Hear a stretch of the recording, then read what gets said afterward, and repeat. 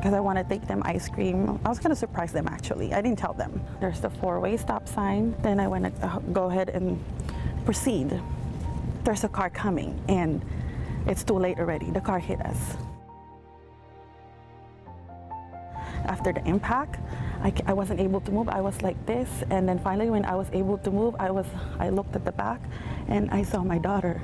I can see my daughter's head flapping. It's not stable, so I know there's some like injury. So they pulled her out, and they start CPR.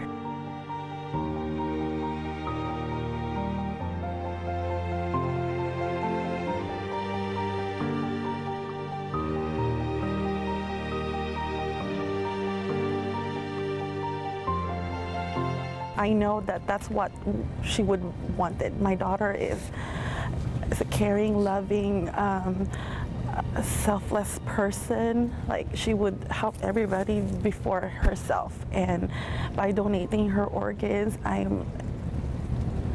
It's. It's like kind of honoring her for her self- selfless act.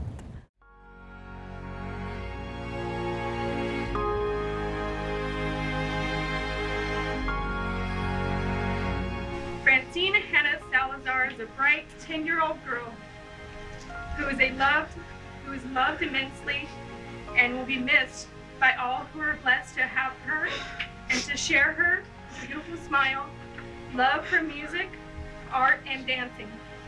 We want to say thank you, Francine, for all the love, the love you shared with the world, and the love you leave behind with those receiving your gifts.